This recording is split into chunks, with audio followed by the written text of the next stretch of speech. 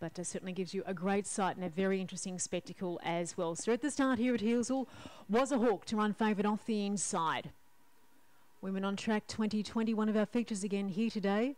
350 the journey, the favourite to run the red. Stand by for a start.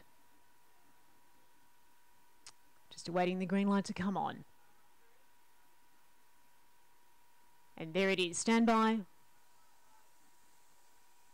Racing was a hawk, a nice clean start off the inside. Cry Melon Kit nicely away. Now moves to the centre. Chalice Magic's cross towards the inside rail. Murrabit Benny shows plenty of toe. McAuliffe just off the pace. Cry Melon Kit and last of all Midnight Mouncy. A line of three. Chalice Magic on the inside was a hawk as they make the way to cross the track. Murrabit Benny trails them, but uh, going to the line was a hawk too strong. The favourites home. Second Chalice Magic from Murrabit Benny.